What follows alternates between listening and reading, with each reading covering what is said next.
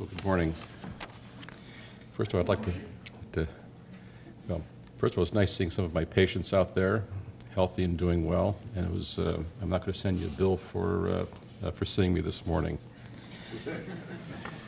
Uh,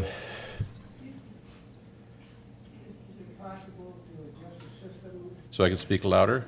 You can hear me? Well, good. Well, thank you. First of all, I wanted to acknowledge um, the importance of uh, patient advocacy groups. Uh, I was telling Amy from the um, uh, I was telling uh, Amy from the New York Times that um, a lot of times in medicine we're kind of pretty good at you know getting the DNA sequences right, but we're sometimes not very good at um, at communicating what we're doing to um, to society, not just to patients but also to interested in, interested individuals.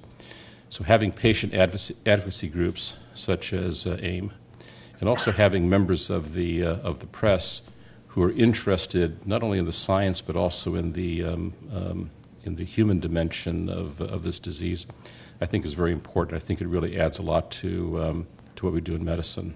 I want to tell you just a very short story about the history of the melanoma program. In the um, early to mid 90s, there were essentially three of us who were interested in this disease. It was John Glaspy in medical oncology, and I can tell you that in the mid 90s, really there weren't, there weren't a lot of things that we could offer to uh, patients uh, with, um, uh, with melanoma. But he, he came to me and said, I'll help, you, I'll help you do this. We'll work together as a team with Alistair Cochran. And we decided then and there we were going to use good science and um, um, and we were not going to be um, um, um, representing anything to patients except what we thought was the best at the time.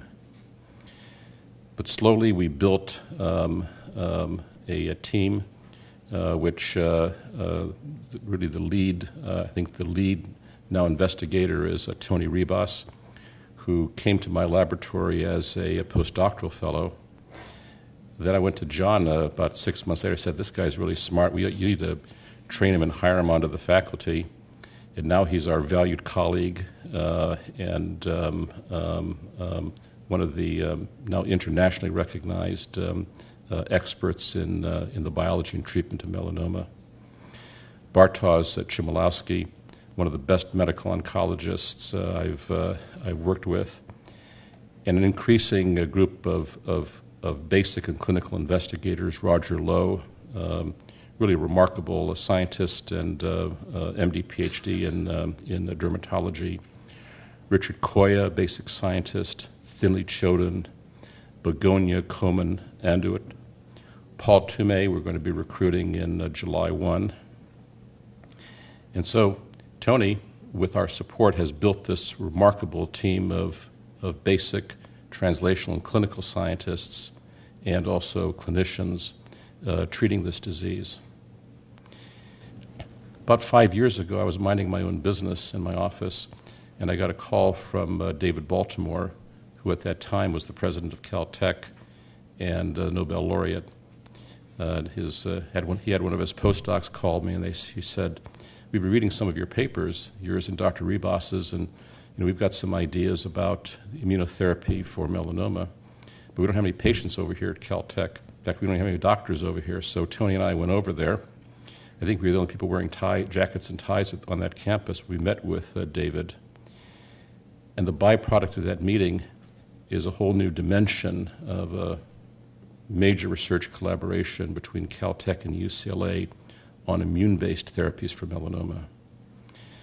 So I can tell you that as someone who has done research in this disease for 40 years, since I was a first year medical student at Johns Hopkins, and as the senior surgical oncologist here at UCLA, this, um, um, this is the most exciting time and the most gratifying time to be involved in the care of patients with this disease. Our understanding of the biology of what's going on, our ability to offer patients effective therapies, therapies that have increasing efficacy um, um over time, uh, it, it's, it's a field where almost every year we're adding something to our armamentarium, we're adding a new dimension of our understanding. And I can tell you, it's just it's just very very gratifying, uh, um, uh, very very gratifying to um, uh, to be um, uh, to be part of a group, uh, a, a, large team effort uh, in um, in caring for patients with this disease.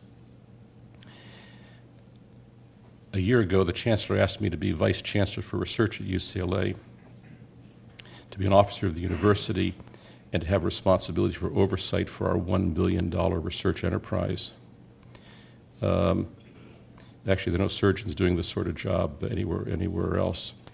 But I told the chancellor that I absolutely would never give up the privilege of practicing medicine and caring for patients, and that uh, he would have to, um, uh, he would have, um, uh, he, he was generous enough uh, to uh, allow me to maintain a practice in, uh, in melanoma, which I continue to do, operate one day a week, and to continue with the, with the translational research that we're, that we're doing. And I think it's actually worked out very well to be not only the, the individual responsible for this research enterprise, but someone who's actually conducting research and, and, um, um, and continuing to maintain a clinical practice. So I'd like to thank, uh, um, like to thank uh, Valerie had a nice chat with uh, uh, Amy Harmon, who, whom I've uh, met before. But I particularly want to thank all of you, and I recognize, now that I'm up here, I'm recognizing more faces that I didn't, didn't see out there. But I want to thank you all for coming here on uh, fighting your way into the parking lot on, uh, on one of our commencement Saturdays. And we're looking forward to this morning's session. Thank you.